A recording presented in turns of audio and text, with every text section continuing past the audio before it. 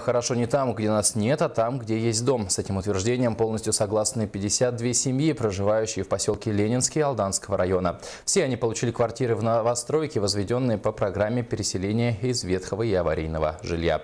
Поздравили новоселов и наши коллеги.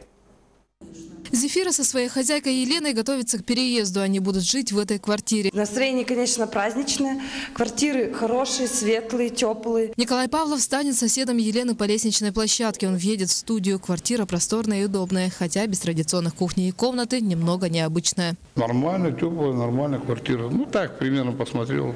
Ну, нормально. Трехэтажка под номером 2А по улице Ленина в поселке Ленинский распахнула двери своим жильцам. Дом был возведен по программе переселения из аварийного жилья и стал первой новостройкой за два с половиной десятка лет. Последний дом был сдан в 1994 году. Мы очень хорошо работали с подрядчиком по вопросам качества жилья. Уверен, что тут никаких нареканий не будет. Тут еще к нам очень хорошо помогала общественность Ленинского, которая также контролировала строительство. На торжественной церемонии открытия ключи от новых квартир получили 52 семьи. Теплые и удобные новоселам очень понравились. Хорошо не там, где нас нет, а там, где есть дом, отметила глава поселка Светлана Гордиенко. В этом доме из 52 квартир всего лишь три трехкомнатные квартиры, остальные э, одна однокомнатное большинство. Потому что мы переселяем сюда все-таки жителей из общежития, а это было однокомнатное. Отметим, что львиная доля финансирования строительства по программе идет из республиканского бюджета. Она составляет 56% всех средств. Участие фонда реформирования ЖКХ порядка 41%.